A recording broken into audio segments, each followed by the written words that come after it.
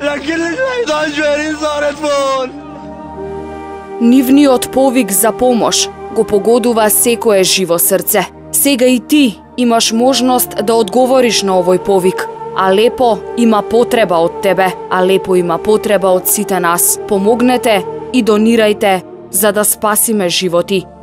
Легис и Медјаши.